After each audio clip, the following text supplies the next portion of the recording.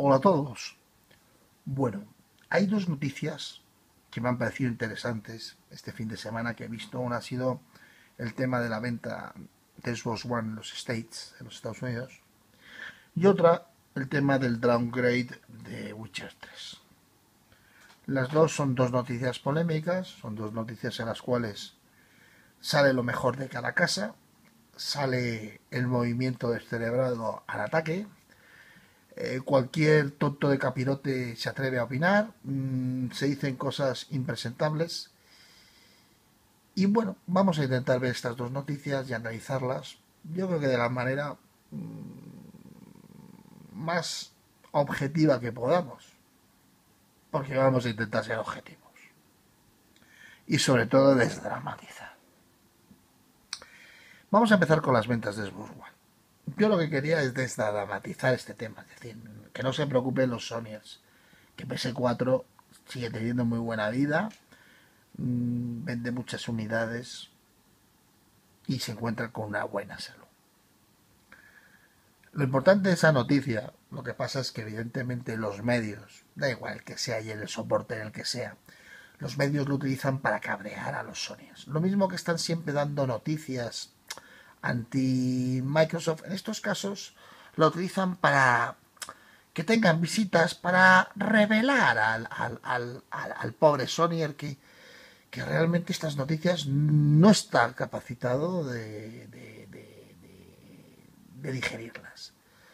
Pues es como cuando a un gran equipo de fútbol le meten 5 o 6 goles eh, y le dejan un 5 o 6-0. Claro, es que no lo pueden asumir los seguidores, ¿no? Pues aquí con estas noticias tampoco las pueden asumir los Sonia. Y realmente la noticia no es muy, muy. La, parte de la noticia o el informe de NPD, lo importante no es que haya quedado mm, la primera Xbox One, lo importante es el crecimiento que ha tenido. Eso es lo importante. Por acciones comerciales, por lo que eres. De tal manera es que los Sonyers no te dicen siempre que es que ha bajado el precio, lo bajó hace tiempo y lo bajan de esto. Y bueno, y, hacen unos packs, unos bundles, bundles con muchos juegos, en fin, todo eso lo sabemos. Pero lo mismo, lo que no vale es decir que ahora ha funcionado porque tiene eso y luego decir que no vende nada a pesar de que tiene eso, que eso es lo que hacen los Sonyers. Y claro, cuando una persona hace eso, ¿vosotros en qué pensáis? Cuando un tío dice que cuando siempre es todo mal, es decir, vamos a ver, mm, que vende poco Xbox One, fíjate, ni bajando el precio, ni con los juegos que regala, es una mierda. Y cuando vende mucho, claro, es que regala muchos juegos, es que ha bajado el precio. Claro, mierda no, Xbox One no es una mierda. Mierda eres tú, Sony. Tú sí que eres una mierda. ¿Es Sony? ¿A qué lo sabes? ¿Vale? Por eso cuando tires de la cadena no tires muy deprisa. No sea que te vayas a colar por la tacita del váter, ¿eh, Sorier? Piénsalo. ¿Eh? ¿Campeón? Piénsalo. El informe de NPD del mes de abril a mí me ha dejado, me ha dado la alegría de que Xbox One ha vendido, pero vamos, aunque hubiera vendido mil unidades menos que PS4, la noticia hubiera sido igual de buena. PS4 ha vendido mucho menos. Pero es normal que haya vendido mucho menos porque venía del tema de Bloodborne y de haber vendido muchos packs. Es que es así. Ya está, ya ha llegado a su tope y el mes siguiente pues baja. No normal, es que así es el mundo comercial. Entonces, eso que no deja de ser un tema comercial. Lo que sí es preocupante es la caída de ya a lo mínimo de Wii U con 41.000 unidades, quiero recordar. Claro. Eso no, no funciona. Ya los efectos de los juegos exclusivos siempre de Nintendo, ya no. No, no. Veremos ahora con el Splatoon, pero me da la pinta de que vamos para abajo. Cuando hemos hablado de estos impresentables, ya hemos hablado de estos Sonyers,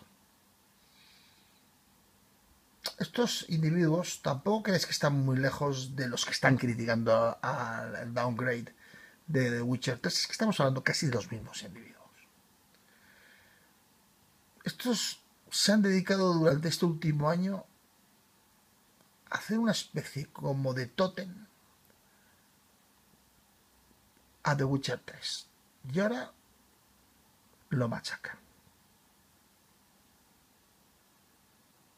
El tema del downgrade se ha convertido en algo que está pesando tanto en las desarrolladoras que os pongo un ejemplo. Iros a ver el Assassin's Creed Syndicate y mirar cómo han hecho el vídeo. Vamos.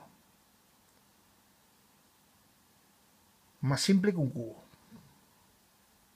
Para que luego no digan nada. O sea, vamos a pasar del mundo de las ilusiones, que no se podía cumplir muchas veces, o por cuestión económica, o por cuestión técnica, o por cuestión de tiempo, hacer las cosas más simples del mundo. O sea, vamos a ir a los tiempos de los storyboard, de los anuncios de que te tenías que imaginar, o un poquito después ya los animatics, ¿eh? en, los, en los antiguos vídeos sumatic ahí moviéndose, ¿eh? haciendo mover los cartones del storyboard en el mundo de la publicidad. Vamos a ir a eso, a lo simple. No podemos hacer una producción. Eso es lo que vamos a presentar en un Gamescom o eso es lo que vamos a presentar a la gente en un E3.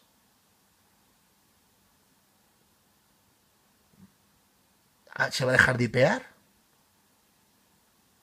¿Se va a acabar el downgrade? Es que con o sin downgrade, The Witcher 3 va a ser un gran juego.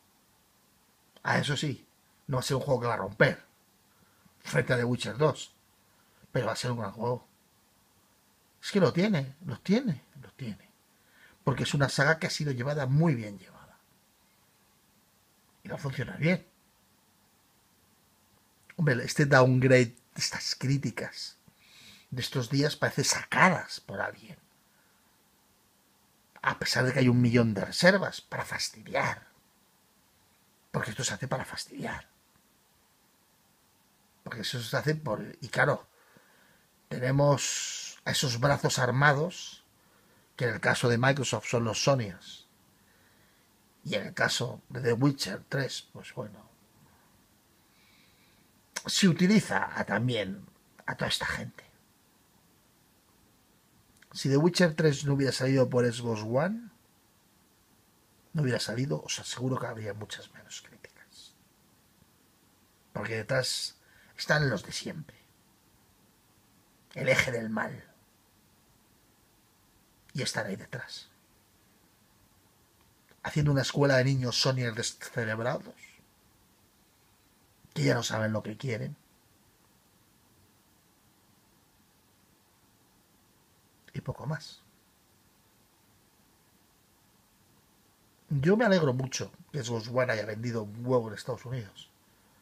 Pero no porque yo sea accionista ni me vea, sino porque sé que hay gente a gente que es tonto del culo que le molesta. Y eso me alegra un montón. Porque en el fondo eso no es lo principal de la noticia. O lo que tienes que analizar del informe NPD, que los que lo podáis leer en inglés, os recomiendo que lo miréis bien. Porque vale la pena. Y si tenéis cariño a Nintendo y a la Wii U, es para que estéis preocupados. Y estéis preocupados de eso. No del downgrade de Witcher 3. O de que PS4 este mes de abril en los Estados Unidos haya vendido menos. Porque las consolas Xbox One y PS4 van a seguir su camino. Y sus vicisitudes. Y de los cursis. Pero claro, podemos crear una escuela de cerebrados con el tema de los 1080p, de los 60 frames con la fluidez, y con los juegazos y los exclusivos. Cuando se ha creado esta auténtica escuela de idiotas, pues es lo que hay. Y vamos, solamente tenéis que ir a los foros y leer. hay algunos que de verdad mm, yo ya pero es que yo ya decía yo antes decía los Sorios pero es que ahora ya ves a los de PC con esto del The Witcher 3 que están resentidillos porque no les sacas The Witcher a la vez claro no sale a la vez que, que las consolas y eso claro no lo pueden aguantar pues eso que ya hemos hablado de las dos noticias más importantes de estos últimos días. Y que de verdad, que la gente es patética en el mundo de las consolas y qué daño le hace a las consolas. Un abrazote hasta dentro de un par de días.